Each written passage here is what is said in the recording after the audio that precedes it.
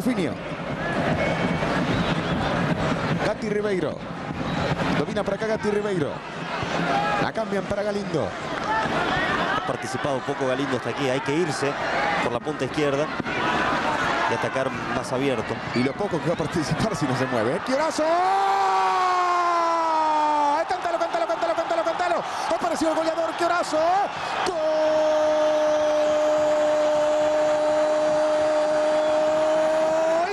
De Bolívar. A los 27 de este primer tiempo lo dio vuelta, perdió 1 a 0, lo gana 2 a 1. El gol lo hizo el goleador Quiorazo.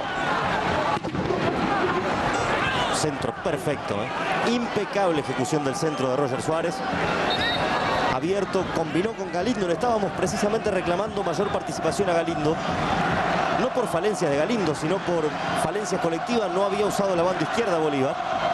Aquí la aprovechó, abrió la defensa rival con dos hombres, Galindo y Suárez. Un centro impecable y la aparición del otro delantero, un anticipo notable entre los dos hombres de la U de Concepción, entre Pedro Rivera y Celaya, para meter un cabezazo formidable. Ahí va el Bolívar a la cancha. Así aparece Bolívar. Muchísimo público en un estadio que hemos pisado tantas y tantas veces. Ya sea para algún torneo sudamericano, como así también con las distintas selecciones. Aquí está el Bolívar en la cancha. Un muy lindo estadio en una ciudad que ustedes ya conocen nuestro pensamiento. Es una ciudad hermosa, cálida y que recibe a su equipo de esta manera, con mucho entusiasmo, con muchos petardos. Insisto, este equipo en los últimos tres años no perdió ningún partido allí y tiene el 87% de los puntos ganados, lo que marca el favoritismo para esta noche, aunque, ojo, en el largo partido está perdiendo 1 a 0. Ahí va Gutiérrez, el dueño de la pelota, viene el centro. Rechazamos por así. Luis con Esmerado. Va buscando otra vez Gutiérrez. Epa. Nuevo tiro de esquina. A las 12 de México por la NFL. Pittsburgh, Filadelfia. Le va a dar Gutiérrez. La trajo en la pelota narrando Siles, ¿no? Gutiérrez. Porque es de él. Sí. Así va Limber con el córner. Viene el centro. Otra Ferreira. ¿O no? ¿Quién? ¡Gol de Bolívar! ¿Qué horazo lo hizo, señores?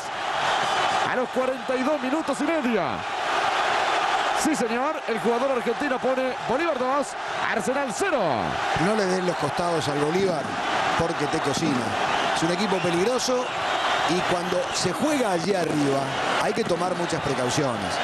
Por supuesto que hay que administrar las energías, hay que esperar que no te rematen de media distancia y no le des los costados, inclusive en los tiros de esquina, porque son peligrosos. Para todos están preparados, allá en la altura, para esto también. Otro córner de Limber Gutiérrez que dice Mariano, ¿es el dueño de la pelota? Sí, es el dueño de la pelota porque le pega con esta eficacia. Dos centros de él, dos goles. Y dos goles de cabeza. Uno de Ferreira y este de Quiorazo, el argentino. El árbitro cobró una falta tarde de lejos.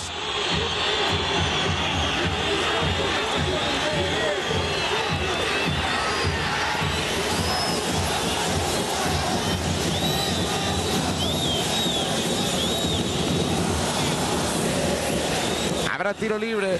Me llama la atención el corte, ¿no? De, no, no el, cor- el corte de Espínola. El de Espínola. Sí, sí. Sí. Bueno, los que tienen abundante pelo se pueden hacer esos cortes. Sánchez. Llorazo, le tiró. ¡Gol!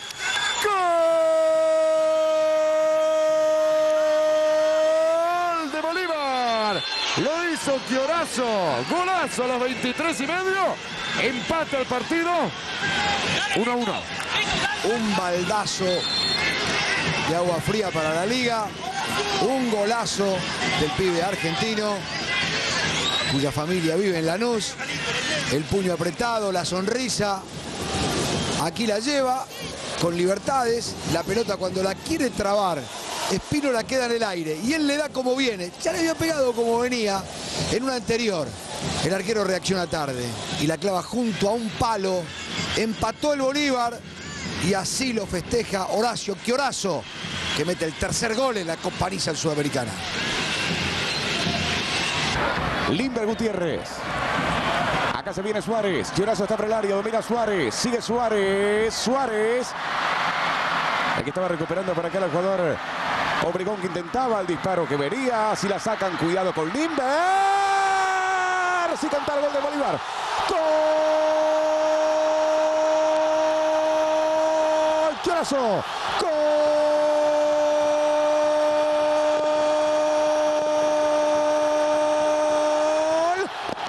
de Bolívar. Es por ahora con este resultado finalista de la Copa Nissan Sudamericana. El goleador aparece Chiorazo. Y ahora Bolívar gana la liga por 1 a 0. Con este resultado Bolívar juega la final contra Boca. Una jugada con algo de mala fortuna para la liga porque queda el rebote después de lo que había sido un mal envío hacia adentro tratando de encontrar a algún jugador de Bolívar en condiciones de hacer esto. Esto que encuentra Chiorazo. Gira una media vuelta impecable del goleador. El goleador que durante la semana estuvo con gripe y que estaba en dudas para este juego. En los primeros minutos aparece con la potencia y con la oportunidad del goleador. Retrocede, sale del área, se acomoda y saca un remate impecable.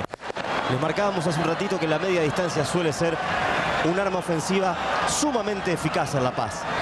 Lo demuestra Chiorazo. Pachi por adentro para perseguir al Guli. Y Sánchez queda abierto por la derecha casi como un lateral extremo. Atención, viene Chiorazo habilitado y está. ¡Gol!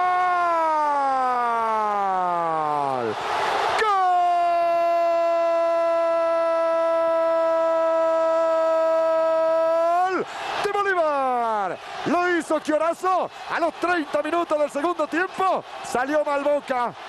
Un pelotazo. Chiorazo y adentro. Bolívar 1. Boca 0. Daba la sensación que lo tenía controlado Boca el partido. Pero sale el pelotazo y pica Chiorazo. Habilitaba por allá Calvo. Da la sensación, ¿no? Da la sensación. En la primera impresión da la sensación que está adelantado. Pero vos marcás Calvo del otro lado. No, no, como que está calvo por el otro lado.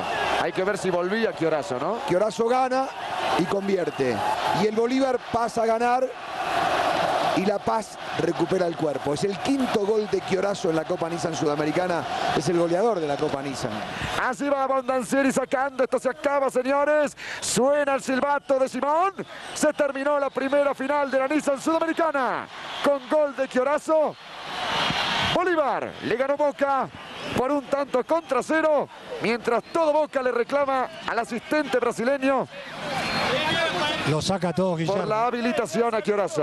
Estamos con la figura justamente. Chiorazo, ¿cuál es la sensación? Habiendo ganado 1 a 0, me decía que lo importante era ganar, pero la gente no tiene la misma sensación, me parece. Sí, bueno, eh, para mí lo importante es ganar. Eh, ahora bueno, tenemos que tratar de mantener el resultado en, en Buenos Aires. Seguro, la gente siempre acá en La Paz quiere ganar 3 a 0, 4 a 0 nosotros también, pero bueno, hay rivales que son realmente difíciles y bueno, eh, yo creo que lo importante es haber ganado. ¿Está bien el resultado? Eh, yo creo que sí, podríamos haber ganado por, por un gol más quizá porque tuvimos alguna situación en el primer tiempo, los primeros minutos. Después, bueno, pero atacamos eh, bastante, pero no con mucha profundidad en el segundo tiempo, pero hay que ahora trabajar el partido de Buenos Aires. Nosotros hicimos buenos partidos de, de visitante, bueno, ojalá que, que podamos este, mantener el resultado. ¿Te diste cuenta que estabas en posición adelantada? No, no, la verdad que no, yo pico y bueno, lo primero que pienso es saber dónde está Bondancieri y definir. Después, bueno, si, si el Elma levanta la bandera y estoy en Orsay, eh, lamentablemente, bueno, no, no, no valía, pero en este caso, bueno, si estaba en Orsay y valió, bueno, mejor para nosotros. Disfruta el triunfo. ¿eh? Bueno, un saludo para, para mi familia, para mi viejo, mi vieja, para mi hermano, para mi sobrina Agustina y para todo Lanús.